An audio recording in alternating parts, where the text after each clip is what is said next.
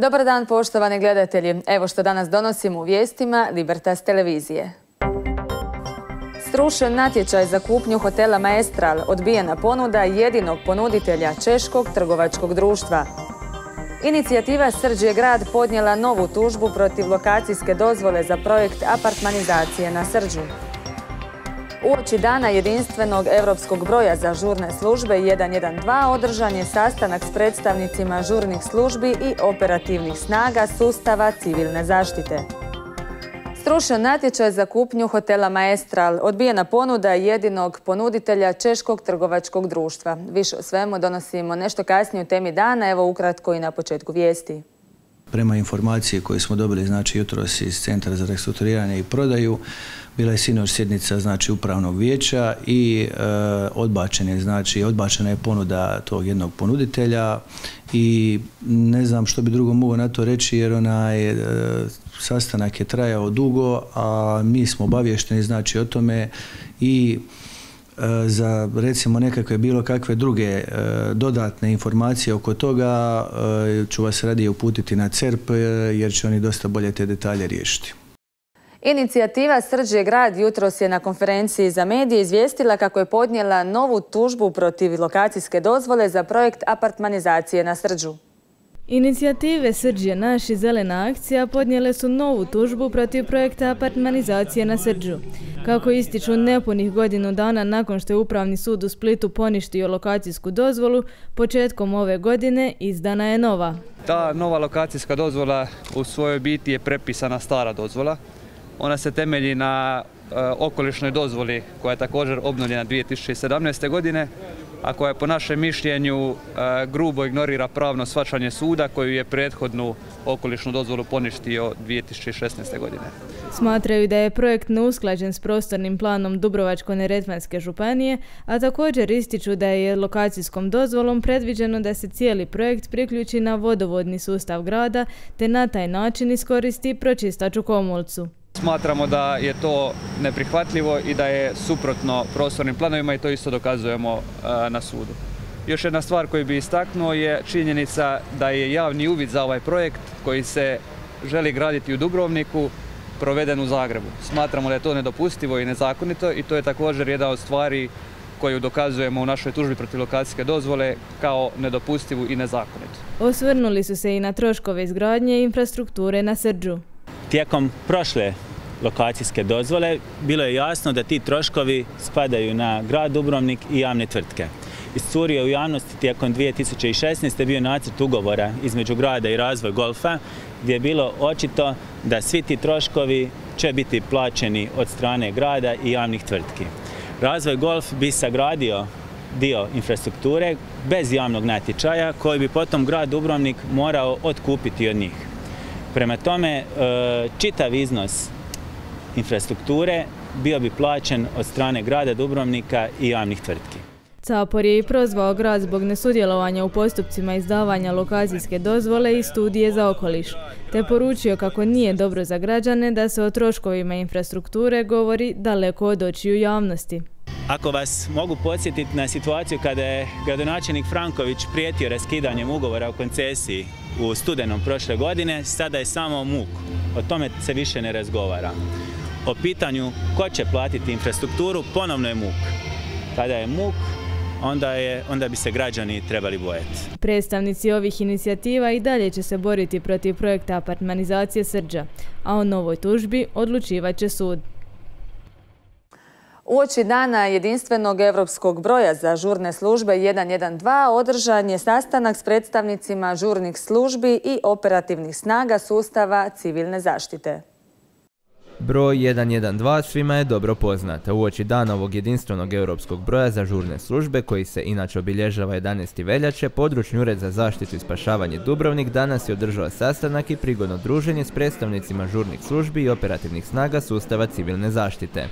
Najprije ćemo imati jedan radni sastanak e, sa predstavnicima žurnih službi, županije i svim drugim službama s kojima surađujemo, a nakon toga će nam poslije doći djeca iz dječjeg vrtića i napravit ćemo im jednu prigodnu prezentaciju e, na kojoj će se upoznati kada s brojem 112 i kad i u kojim situacijama zvati broj 112.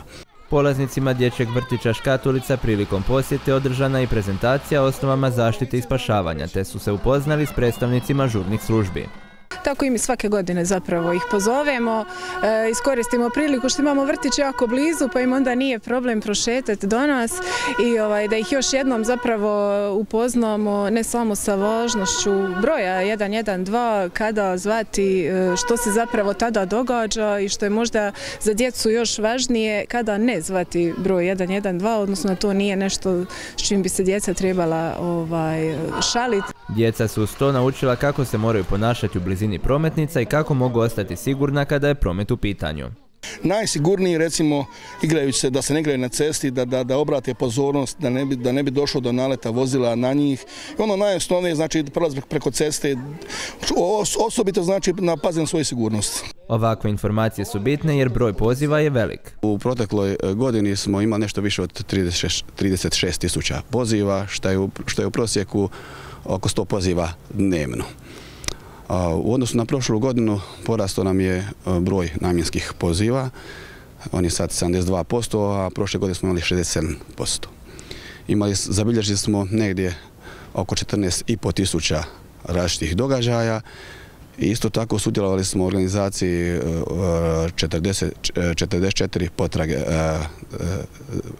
potrage za nestalim osobama. Cilj obilježavanja dana europskog broja 112 je još jednom podsjetiti javnost na važnost i korist broja koji se poziva u pomoć kada prijeti opasnost po život i zdravlje ljudi, a najvažnije početi s podučavanjem djece. Za novu predsjednicu Općinskog suda u Dubrovniku izabrana je sutkinja Marijana Kapur-Sokulišić. Tako je odlučeno na jučerašnjoj sjednici Državnog sudbenog vijeća. Njen protukandidat je bio Mario Bulum. Novo izabrana predsjednica je dugogodišnja sutkinja na Općinskom sudu i voditeljica građanskog odjela, a izabrana je na mandat od četiri godine. Župan Nikola Dobroslavić izabran je na drugi dvogodišnji mandat kao predsjednik Jadransko-Jonske euroregije. Na izbornoj skupštini udruge održanoj u Termoliju osim izbora upravnih tijela usvojena su programska i financijska izvješća te su dogovorene buduće aktivnosti i inicijative. U sklopu skupštine održan je okrugli stol na temu politika kohezije nakon 2020. godine na prostoru Jadransko-Jonske regije. Župan Dobroslavić tom prilikom je naglasio kako se u Europskoj uniji rasprave trenutno vode o temama Brexita, ali i budućnosti EU, kakva će ona biti nakon 2020. godine, kakva će biti njezina kohezijska politika, te je li i na koji način poželjno proširenje Unije. Dječjom maškaratom danas je započeo 19. po redu Dubrovački karnevo u sklopu kojeg će se održati brojna događanja. Evo kako je jutros bilo na Stradunu.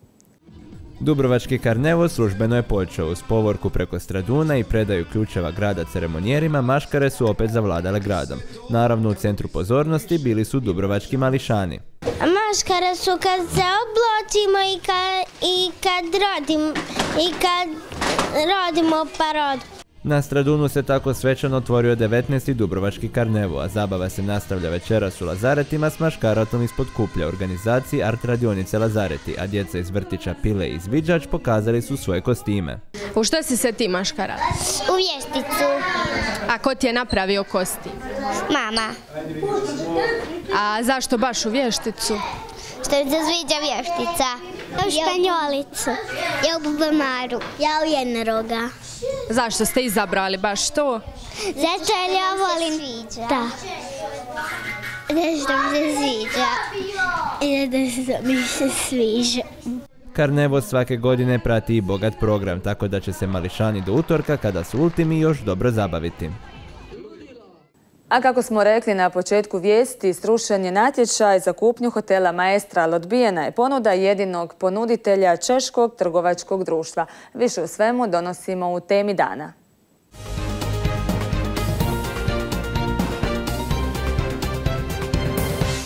Propao je novi pokušaj privatizacije hotela Maestral.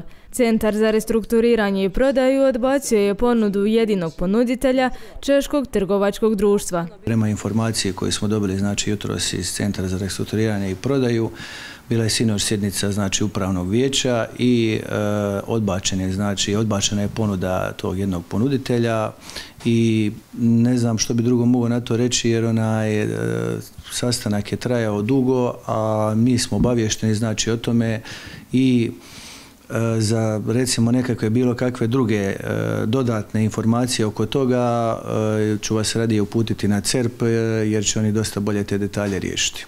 Kako piše poslovni dnevnik, u Cerpu nisu bili zadovoljni ponuđenom vrijednošću ulaganja za ovu atraktivnu destinaciju, pa će se odmah raspisati novi natječaj.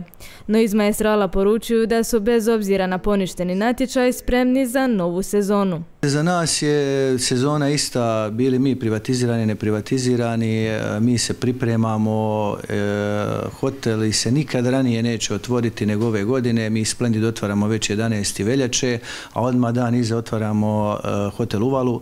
Naravno da bi uvijek mi htjeli dobiti inekciju, ono što se kaže kapitala, da možemo obnoviti hotele, da možemo to bolje riješiti, ali sad radimo znači tri hotela, pripremamo za rekategorizaciju, obnavljamo banje, e, jednostavno se pripremamo i sve će dočekati spremno znači sezonu. Česi su za maestrale bili ponudili traženu cijenu od 114 milijuna kuna. No čini se kako će se trakavica oko privatizacije nastaviti i dalje. Dobre vijesti dolaze za sve zaposlenike Valamara koji bi uskoro trebali primati veće plaće. Više u svemu donosimo u poslovnim minutama. U dogovoru sa socijalnim partnerima Valamar će u potpunosti porezna rasterećenja za sezonski rad uložiti u povećanje neto primanja djelatnika. Tako će od travnja 2018. godine svi djelatnici koji rade puno radno vrijeme imati zajamčena primanja od minimalno 5000 kuna do 7500 kuna mjesečno. Osim samog povećanja neto primanja, sezonskim radnicima koji dolaze raditi u Valamarove destinacije svih krajeva Hrvatske osiguran je kvalitetan smještaj uz tri topla obroka dnevno na trošak poslodavca. U Rabcu na otoku Krku i u Poreću sezonski radnici bit će smješteni u hotelima za zaposlenike kuća Valamar, gdje ih čekaju nove uređene sobe i apartmani s vlastitim kupaonicama, zajedničkim prostorijama za odmor i druženje kao i brojne druge pogodnosti.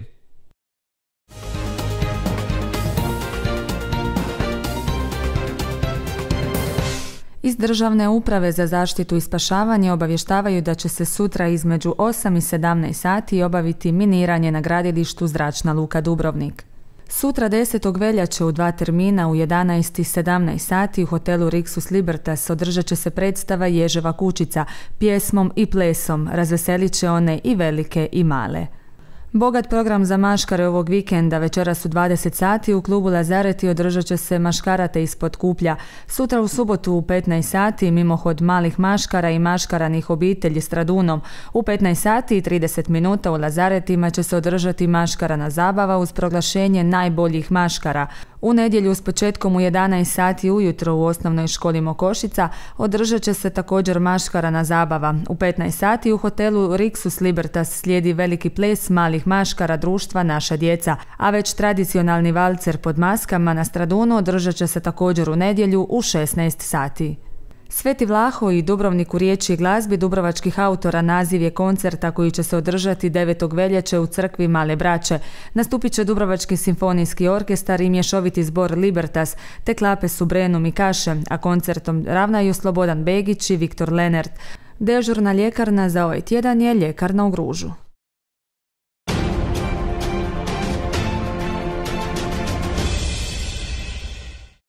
Vrijeme danas promjenjivo uz umjerenu na oblaku. Najviše dnevna temperatura danas iznosila je 15 stupnjeva. Sutra umjereno i pretežno oblačno puhaće umjerena i jaka bura. Najniža jutarnja temperatura zraka od 2 do 7, a najviše dnevno od 8 do 13 stupnjeva. Lapad, Gorica, Mokošica, Gruž i Gruda mjerili su 14, Župa Dubrovačka 13, Čilipi 12. U ostatku županije najtopliji Mljet s 15 stupnjeva, Vidi Metković 14, Ploče 12, Korču i Vela Luka 11, a Lastovo 10 stupnjeva. nastavit će se poboljšavanje biometeoroloških prilika u cijeloj zemlji, no one će se kretati u rasponu od razmjerno nepovoljnih do razmjerno povoljnih. Zajednica tehničke kulture Dubrovnik oduševljava svojim programom za najmlađe. Ekipa show programa posjetila je radionice zrakoplovnog maketarstva. Cijelu reportažu pogledajte u emisiji show program koja je na rasporedu u 18 sati. Otvaranje zimskih olimpijskih igara događaj je koji je i ove godine ujedinio svijet i učinio sportsku scenu zanimljivijom. Više o svemu donosimo u rubrici hashtag Libertas TV.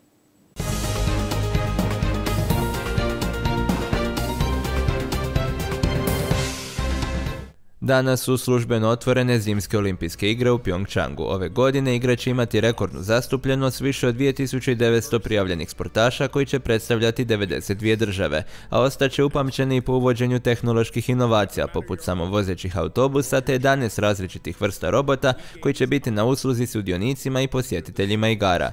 Hrvatsku će predstavljati 20 sportaša i sportašica te 33 službene osobe. Nakon Torina 2006. bit će to zimske olimpijske igre s najviše hrvatskih sportaša i sportašica.